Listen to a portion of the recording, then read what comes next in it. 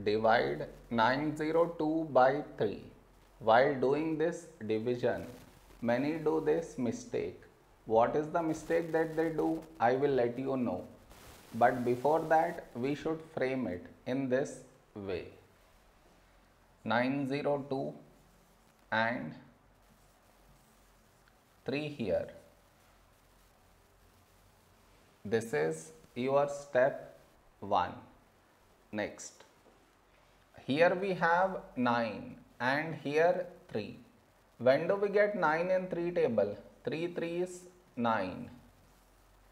Now we should subtract 9 minus 9 0. After this bring down the beside number. So 0 down. Now here we have 0 and here 3. 0 is smaller than 3. So we should bring down the second number and the rule to bring down the second number is we should put 0 here. Then only we can bring down the second number. After this step the mistake happens. And the mistake is this. Here we have 2 and here 3 2 is smaller than 3 so what many do is they directly put dot take 0 which is wrong.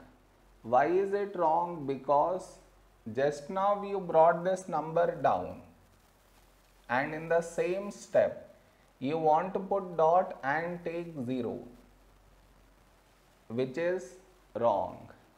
I repeat bring the number down and also put dot take 0 bring the number down and put dot take 0 both at the same step you should not do. Instead, what you should think of doing is which number should we take here?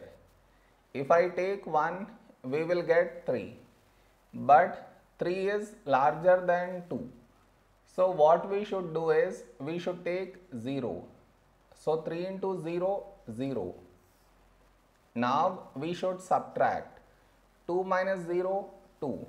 Over here we did not bring any number down and 2 is smaller than 3.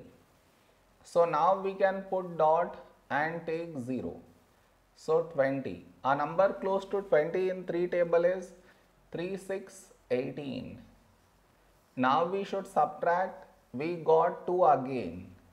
That means we get bar on this number. So this is our quotient. Did you understand where does the mistake happens? You should not do that mistake.